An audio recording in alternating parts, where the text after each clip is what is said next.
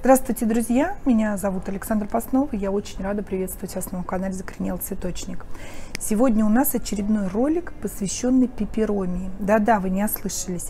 Вот это вот такое очень необычное растение суккулентного типа, а, которое похоже на какой-то немножко бешеный кактус. Это пеперомия, то есть это сорт, который называется Happy Bean.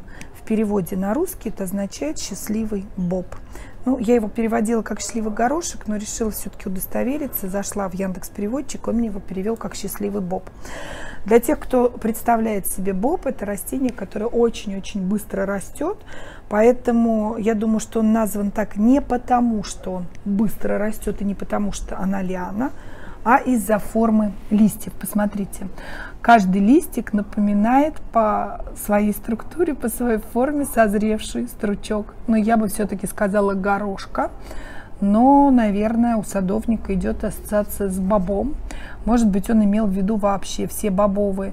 Но согласитесь, так и хочется ковырнуть и ожидать, что там внутри спелые горошинки. Но это не так. Растение суккулентное, кустарниковое, растет кустиком. А, хочу вам сейчас показать э, способ, каким образом оно вообще э, становится более-более пышным. Вот посмотрите. Видите, над листом у нас появляется вот такой вот маленький еще побег. За счет этого увеличивается кустистость. И вот здесь вот был когда-то листик, я так подозреваю, и вот на этом месте у нас новый, новый побег.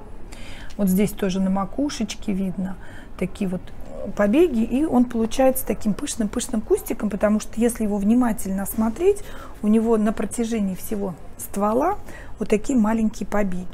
Растение достаточно компактное, честно не видела большего размера, то есть он все время приходит вот в таком размере, это у нас 10 на 15, но я думаю, что сантиметров до 20 в рост он все-таки вырастет. Что мы делаем вот с такой замечательной пеперомией? Ну, во-первых, не вскрываем листья в поисках горошков, их там точно нет. Корневая система у нас не показывается даже сквозь отверстие, поэтому пересадка ему не требуется сразу. Если вам неохота возиться, вы можете поставить в кашпо. Если вы хотите пересадить, а, можете взять точно такой же горшок, либо чуть-чуть на сантиметр большего диаметра, поскольку корневую систему мы, если начнем плодить, у нас станет мельчать верхушечная часть. Ставим его на место, где у нас много-много света, но все-таки не прямые солнечные лучи, поскольку растения светло-салатовая окраска листьев могут появиться ожоги, будут в коричневых некрасивых пятнах. Так как пеперомии, они все-таки близки очень к суккулентам, то если у вас отвалился листик, втыкаете, у вас появляется новая пеперомия, можете ее черенковать, то есть срезать макушечку, посадить, укоренить, она будет расти. Землю мы используем либо для декоративно-лиственных, либо универсальный грунт, это не имеет значения, и в принципе можно даже попробовать посадить. Ну вот данный конкретный сорт однозначно можно пробовать сажать в грунт для кактусов и суккулентов. Но я бы все-таки сажала в универсальный, поскольку там побольше питательных веществ. Это не совсем ярко выраженный суккулент. Очень аккуратно с поливом. То есть пепероми для них губителен залив. Поэтому поливайте умеренно раз в неделю, давая высыхать между поливами земляному кому.